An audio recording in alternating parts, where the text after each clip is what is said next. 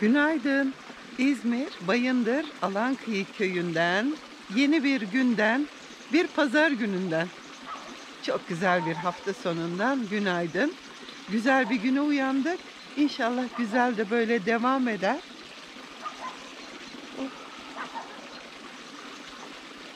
Sabah kalktım. Yine tabii çiğ yağmış. Böyle kiremitlerin üzeri ıslak. Çok hoş bir görüntü. Yapraklar, damlacıklar var üzerlerinde. Dün geç saatlere kadar ekim dikim işleriyle uğraştım.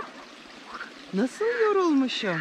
Akşam saat böyle 11 buçuk oldu. Ben artık gözlerim kapanıyor. Oturdum montaj yaptım. Şimdi gece gündüz mümkün değil zaman bulamam böyle bir şeye. Onun için gece olduğunda bu işlere başlayabiliyorum. Girdim, ortalığı biraz toparladım. Ondan sonra işte oturdum bilgisayarın başına, montajı yaptım. Şimdi de bilgisayarı alıp köy meydanına gideceğim. Yapabilirsem orada yükleme yapacağım. Yani videolar böyle çok düzensiz oldu. Hayal ettiğim bu değildi ama buna da şükür diyelim. Ama her tarafı ekiyorum. Yani bu sene diyorum ya niyetim gelen kimseyi eli boş çevirmemek. Buraları da dün ektim. Akşam hava kararıyordu artık. Fasulye, barbunya. Çünkü bu toprakların fasulye ve barbunyası çok güzel oluyormuş. E zaten yayla ürünü ya. Bu arada hep diyorsunuz hani mısır da koy. Zaten öyle yapıyoruz. Yani 3 fasulye tanesi yanında bir ya da iki tane mısır. Hangisi canlıysa diğer cansız olanı yanından çekip almak için yapılıyor bu. Bu sefer fasulye ve barbunyayı ektiğimde sulamadım. İşi öğrendim. Ve topraktan görüyor musunuz nasıl böyle duman yükseliyor? Gece boyunca çünkü çiğ yağıyor. Sabah güneş yüzünü gösterdi mi hemen buharlaşmaya başlıyor. Burada domatesler ekili ama bugün biraz daha domates ekeceğim. Çünkü şişe domates bol miktarda yapıyorum. Yani geçen yıl bile kendi evime 4 kasa yapmıştım. İyi oluyor böyle. Şu anda bile hala onlardan hazır yiyoruz. Hmm, marullarım baya baya kendini göstermeye başladı. Ama çilekler için bura uygun bir yer değilmiş. Bunu öğrenmiş oldum. Seneye çilekler burada olmayacak. Yani çileğin biraz bol güneş ihtiyacı var. Hemen alalım seni buradan.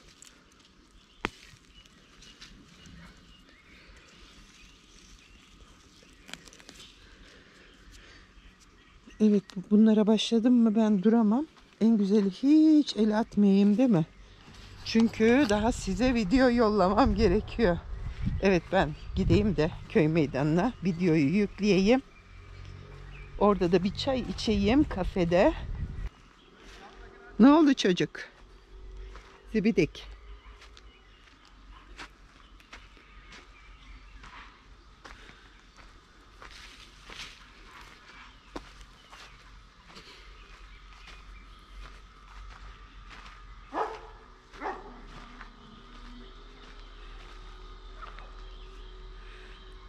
Salatalıklar arasına girmesin diye zibidim. Bunları koydum. Dün ektiklerimi de göstereyim. Hemen gideceğim.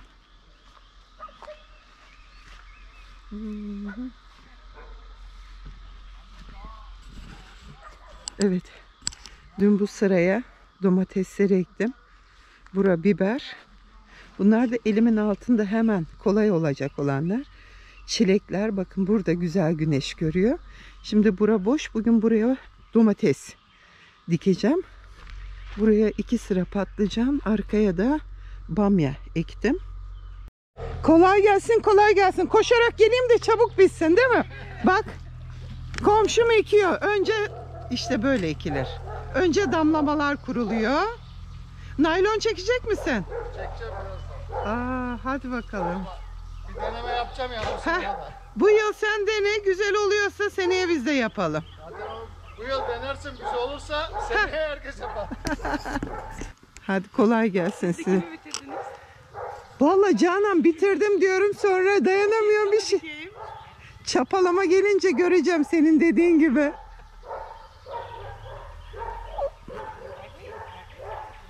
Evet evet. Ya biz aslında damlama hortumlarımızı falan almıştık. Yapacaktık ama şimdi düzeni kuramadığımız için e, olmadı o.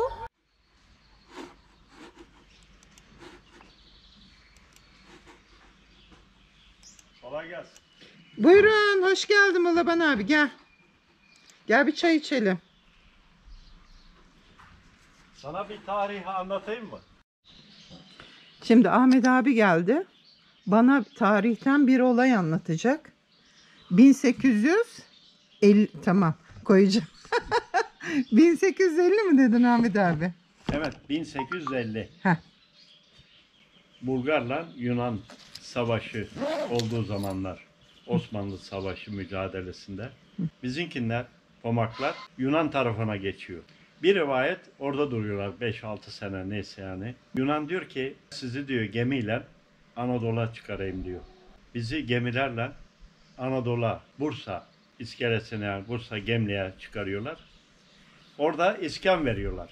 Orada bir rivayet durduktan sonra gene büyük dedemin abileri, amcaları Afyon Dinar'a gidiyor. O tarafa gidiyor. Dedem Bayındır'a geliyor. İzmir'e geliyor. İzmir'de iskan veriyorlar tekrar. Ee, Bayındır'da da iskan veriyorlar. Bayındır'da o zaman 1800 diyelim 70'lerde. Orada gene sivrisinekten, sıtmadan serin yere kaçıyorlar. Oradan iskan verildiği halde Bayındır Ovacık mevkiine oraya göç ediyorlar bu. Abi bazen delsizlik yapmış insanlar oradan oradan şey etmişler. Tekrardan kayka, kaymakamlığa müracaat yapıyorlar. Tekrardan gidin bulun bir yer kendinize diyor. Oraya mesken edeyim sizi diyor. Tekrardan buraya geliyor, buraya geçiyorlar. Buradan nasıl geçiyorlarsa buraya bakıyorlar, beğeniyorlar. Buraya köy kuruyorlar. 85 hane geliyor buraya. Bulgaristan'dan da çıkarken 18 köy çıkmış zaten Pomaklardan. 18 köy oradan çıkıyor yani bu tarafa Anadolu. Buraya yerleşiyorlar. Yerleşirken ormandan açtıkları yeri urganla bölüyorlar. Neyle? Hayvan yükü urganı. 25 metredir o. 25 metre herkese yani bir dönüm. Leşmer dönüm bir dönüm. Bir dönümden az ev hayvan aşat için yani hem. Bölü, bölüyorlar ve evleri içine yapıyorlar. Ve burada kalıyorlar. Şu an buraya yerleşeli 120 sene olmuş. Hmm, çok eski değilmiş demek ki tarihi. 120 sene olmuş yerleşeli. Evet. Cumhuriyetten Yani burası köy möy değilmiş. Böyle. evveli değilmiş. Ondan sonra buraya yerleşince bizimkiler Osmanlı zamanında buraya köy muhtarlığı kurmuşlar gene. Bu Afyon'da hani gittiklerinde Amcalarım orada. Heh, doğru. Büyük amcalarım. Şimdi Ovada- torunları var orada onların. anladım. Ovacık, Ovacık'ta niye o duramamışlardı? Neyse onu son anlatırım. Yok, onu da Kapattım mı? anlat. Onu kapatır. Ya hep bak neden biliyor musun? Mutlaka bir sonradan geleni orada önceden olan istemiyor. Hep bu yaşanıyor ama. Şimdi ben balabanım. Hı hı. Benim atam balaban. Ötekinler ayrı. Nipli derler onlara. Sen bunların daha detaylarını inemezsin. Bir çay daha alayım. Çok güzel çayın.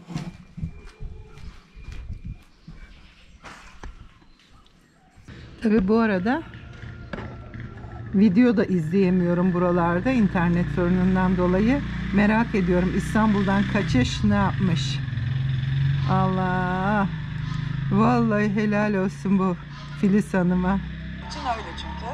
Umarız iyisinizdir arkadaşlar. Bu Yani da karnı bir bayağı büyümüş ama hiç Fidelerimizi ekeceğiz. Fidelerimizi aldık. Engellemiyor Yanında onu. da burada şöyle şu kameraya göstereyim. Ata tohumlarımız var. renkleri nasıl bu kadar canlı Bayağı yapabiliyor fasulye videoda bilmiyorum. Kameradan mı? gibi. Bir filtre mi kullanıyor? Ah bir sohbet etme şansımız olsa şöyle karşılıklı ama göstererek. Tohumlarımız da var. Artan yerlere fidelerimizden o tohumları ekeceğiz. Evet yani boşlukları da boş bir alan bırakmamak Ay için aslında. karnı çok büyümüş yazık garibim. Bak ama hiç durmuyor.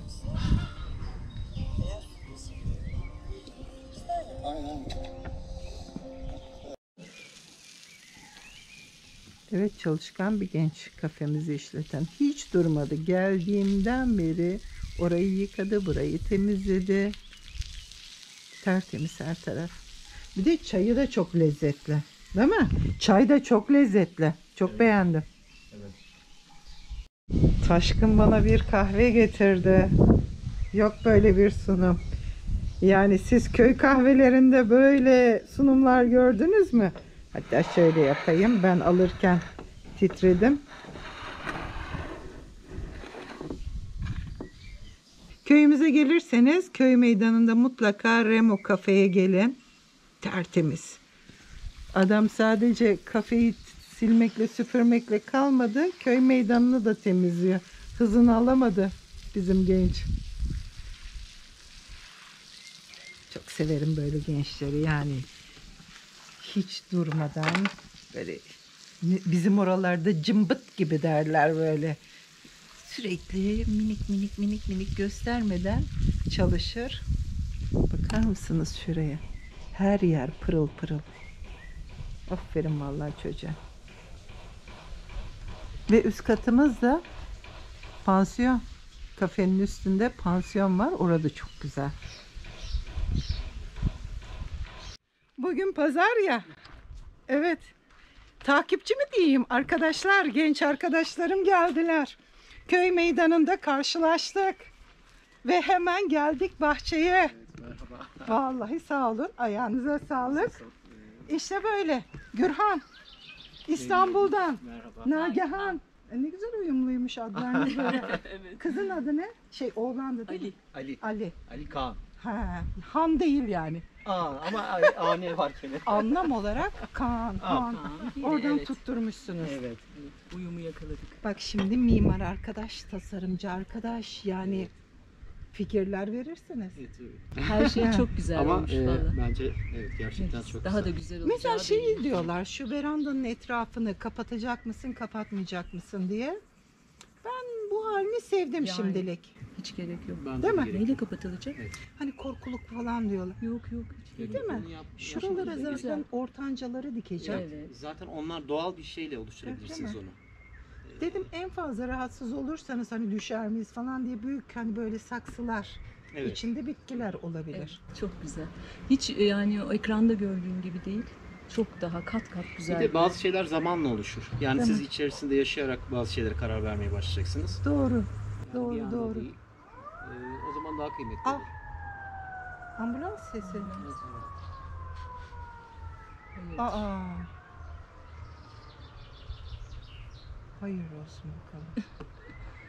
Yani buraya kadar ambulans geldiğine göre Başka bir şey olur mu? yangın mangın sanmıyorum Biraz çünkü bu bölgede Aa, aşağıda yangın, yangın konusunda. şeyi de var. Öyle- yani İtfaiye var. ormancılar falan çok güzel geziyorlar. Çok süper. Hiç boş bırakmıyorlar. Instagram'da nedir adın? Takip etmek isterim. Illustra Nagi. Abu çok zormuş. Dur bir dakika. Ben sizi takip ediyorum ama siz Instagram'da pek aktif değilsiniz. Değilim. Çok değil. Yani diyorum ya yetişemiyorum. Aslında YouTube YouTube'a ama bile. iyi gidiyor yani. Ay ona bile diyorum ya buraya geldikten sonra çok Ben zor. yazarım isterseniz. Evet çok memnun olurum. Bir gün hani böyle saksı boyuyorum falan ya.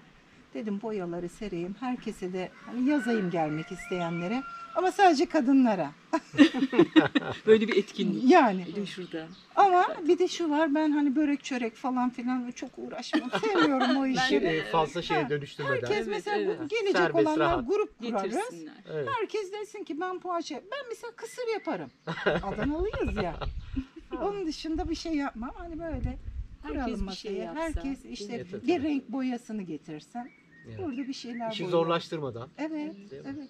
Çok güzel. Hatta Ben böyle bir dahaki gelişimde size ya kendi yaptığım saksılardan saksı da yap. Dur hemen Bak şimdi orada bakıyorum. bir tane videom var yeni bir saksı. Nagihan Bakay Arıoğlu diye değil. Nasıl? Evet. O- Illus Tranagi. Ya çok zor Çok bir ad seçmişsin. Öyle kaldı o. Bir şekilde girdik ona. Daha çok eski bir benim sayfam.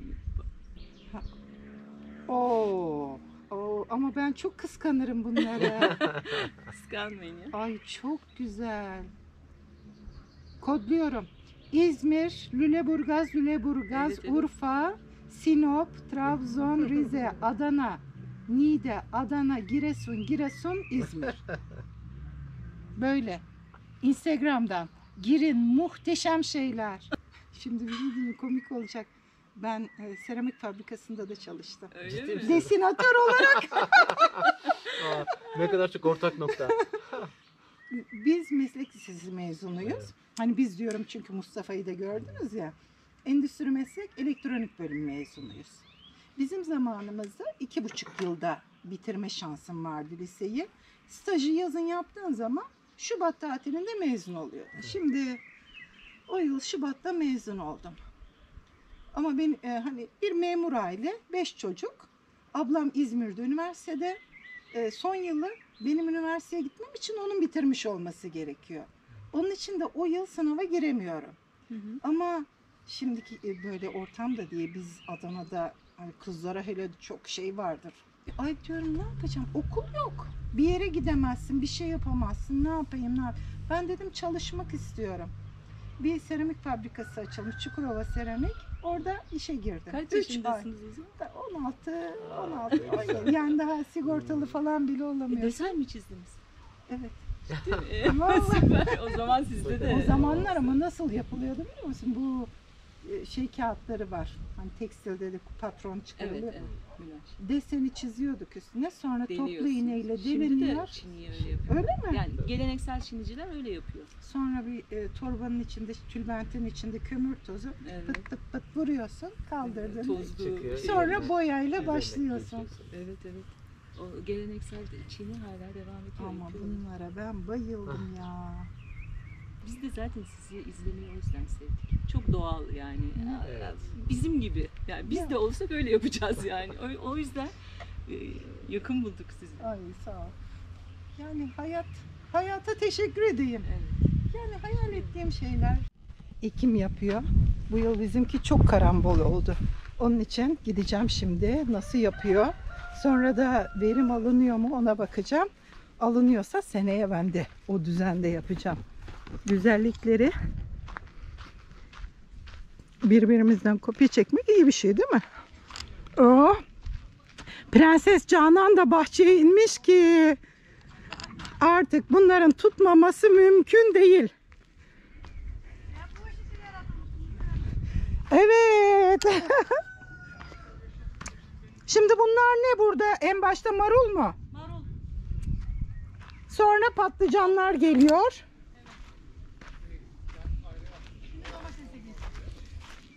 Ana kız domatese geçmişler. Şöyle karşı. Deneme yanılma bu sistem ilk defa. Naylonu nerede, neyle deldiniz? Bahçetayla Ha, kesildi. Bahçetayla kestik. evet.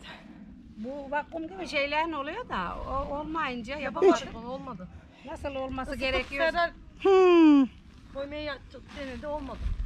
evet. Delinmedi yani. Biz yapamadık. O ısısı fazla olacak onun. Başka bir şey- sistemi vardı da o olmayınca Evet. ancak Bir de şey yaptı bak.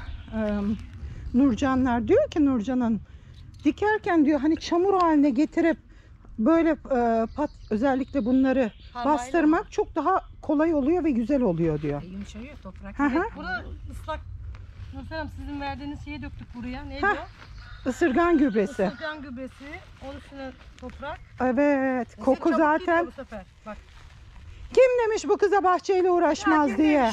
Yani bak ısırgan gübresinin kokusuna rağmen. Aynen. Ay ne koku ama mi?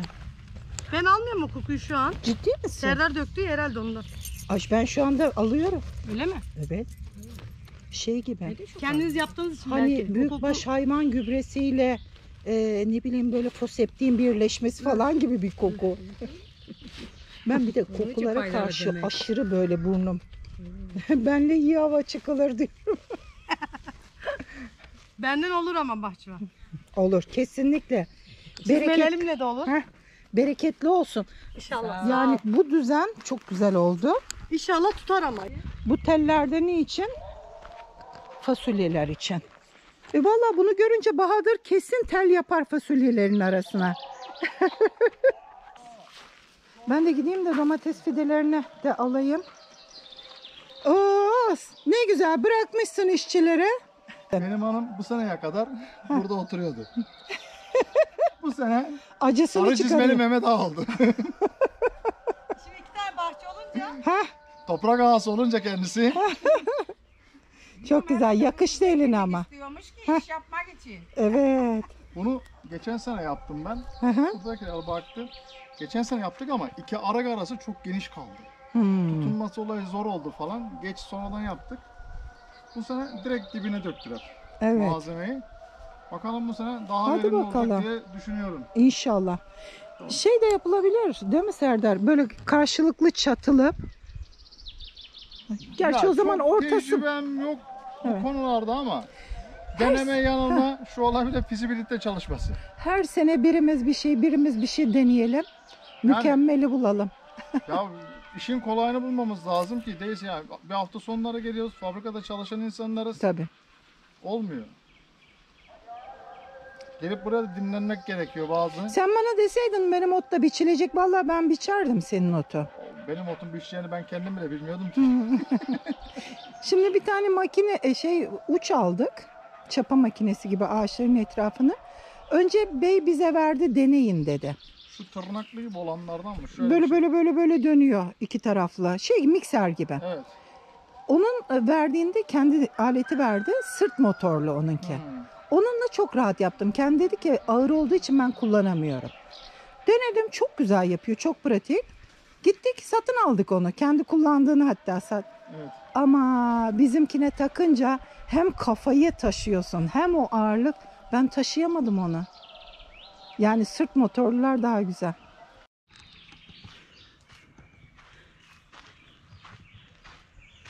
Akşam oldu. Ekmelere dikmelere doyamadım. Buralara şimdi domates verdi komşuları. Dedi ki yani böyle bir tanesi bir kiloya yakın neredeyse. Hadi abartmayayım. Bir tanesi yarım kilo gelen böyle çok lezzetli bir domates dedi. Ay inşallah tutar. Ben de buraya onları ektim. Yine güzel bir gündü. Kirazlar artık geriden de kendini göstermeye başladı. Ağacın üzerinde pıtırcık gibi kirazları görebiliyorum. Çok güzel. Kapımı da kilitledim. Evet. Görüşmek üzere. Güzel günlerdi. Bu arada internet sıkıntısı var. Bugün bir video yüklüyordum. Yarım kaldı. Yani saatlerce köy meydanında uğraştım ama olmadı. Şimdi arkadaşım da yüklerim. Yarın izlersiniz. Görüşmek üzere.